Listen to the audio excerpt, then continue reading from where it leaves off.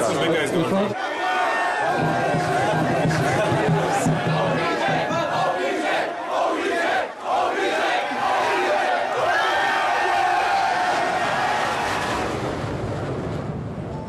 I'm truly just excited to be a part of all of this, bringing football all the way across the world.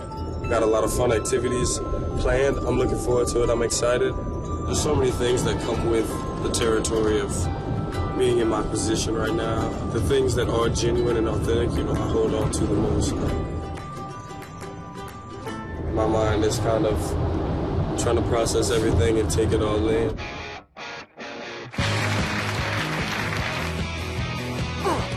Never did I think I'd be in Munich, Germany. Brilliant. Real nice. We want to get loads of Odell character stuff. Soccer was what I played since I was three years old, and it was truly my first love. Oh,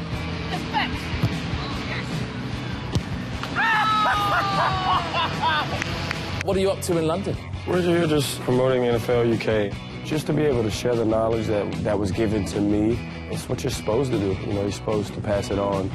These kids just came up and they were like, oh my God, Odell, Odell. It just shows like how big NFL is getting now. Yo, Beckham Jr. Yes, sir. What's up, man? Oh my God. How you? How you? I'm a big Giants fan. Can Yeah, I may I yeah, for sure. It's been pretty surreal for me to be, you know, known in other countries.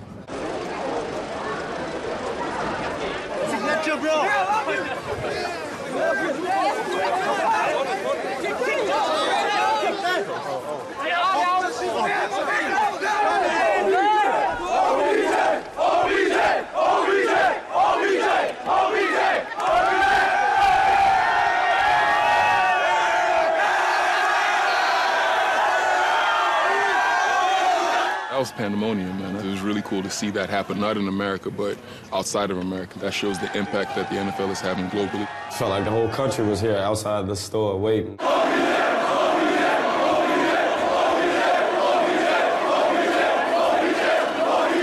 It's just unreal. It almost doesn't even make sense. You know, sometimes I don't feel as if I'm really worthy of something like that outside.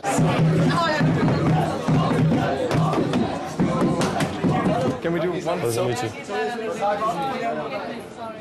up, man? How you? Good? Good, you? Chillin'? So cool. Such a good feeling. Odell Beckham.